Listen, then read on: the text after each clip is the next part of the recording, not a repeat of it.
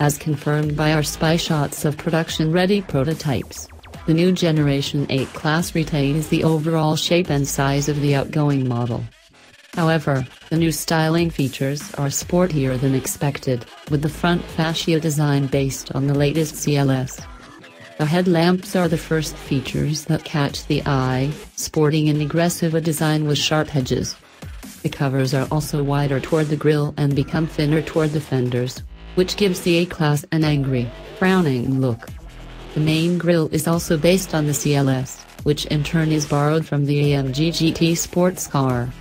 The element is now wider toward the bottom. On the other hand, it retains the diamond radiator layout and the silver horizontal bars on each side of the TriStar emblem.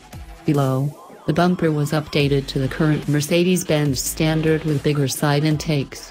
Both include black horizontal slats for a powerful look,